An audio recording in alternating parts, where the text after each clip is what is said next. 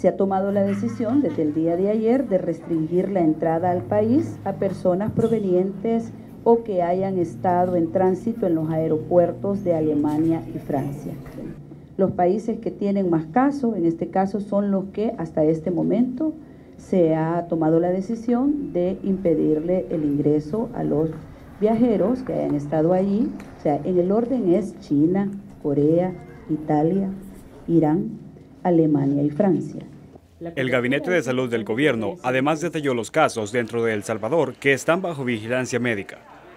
Se tuvieron en cuarentena, se tienen 22, eh, 23 casos de, cuarentena controlada, de los cuales ya se fueron eh, dados de alta totalmente libres de enfermedad a 17 y se cuentan ya más de 90 casos de vigilancia eh, domiciliar.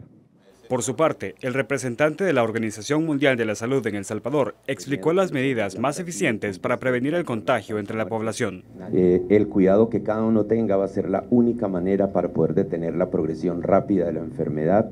Es de muy alta transmisibilidad, luego las personas que están enfermas pueden pasarlo. En muchos casos las personas han estado asintomáticas y asintomáticas ya han transmitido el virus de manera que las medidas personales entran a jugar un papel fundamental acá.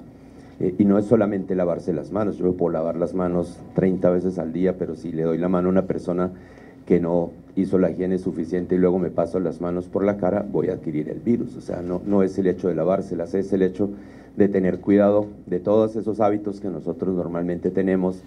Hasta el momento, el gobierno salvadoreño asegura que no existe ningún caso sospechoso de coronavirus en el país. Asimismo, las autoridades instaron a mantener calma e informarse por canales oficiales para no generar pánico innecesario. Este es un reporte para la.